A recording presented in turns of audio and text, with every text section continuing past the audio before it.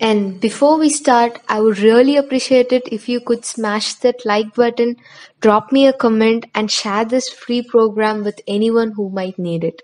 Find the moment of resistance, the fourth step. Easy one. So, moment of resistance. We have to find whether it is an under reinforced or over reinforced section, or if it is a balanced section, well and good. So, if it is my say it is an under reinforced section. So, in under reinforced section, T fails first. So I will know what is the value of sigma ST. That is, I'll, steel fails first, so I will know what is the permissible stress in my steel and therefore sigma ST. Therefore, I will go with the formula that M is equal to T into Z, which will be AST into sigma ST into Z. So what will be Z this time? I know it is URS, that is under reinforced section.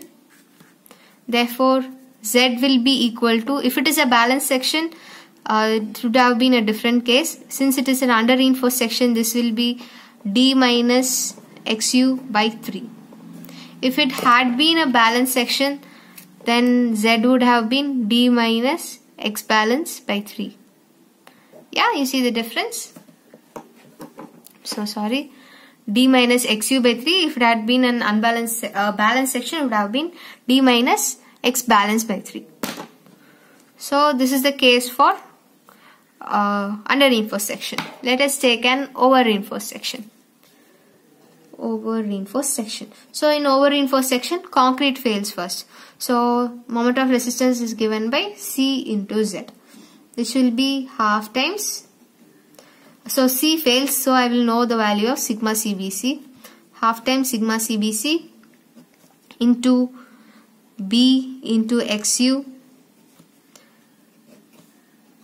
this is the value of c into z. Z will be since it is an over reinforced section again my z will be uh, in terms of xu only and not x balance.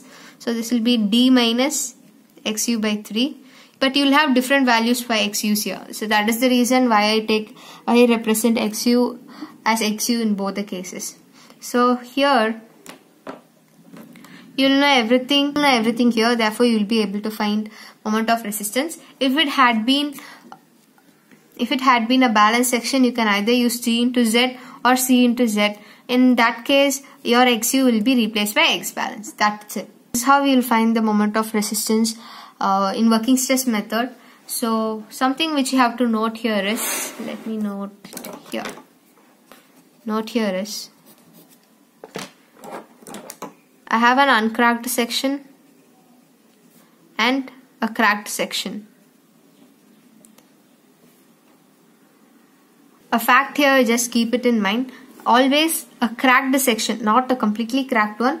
A small cracked, small cracks are permissible. A cracked section, it will take more load than the uncracked section. Can you tell me why? If you know the answer uh, to this question, uh, let me know in the comments below. I'll see you guys in the next video. Bye.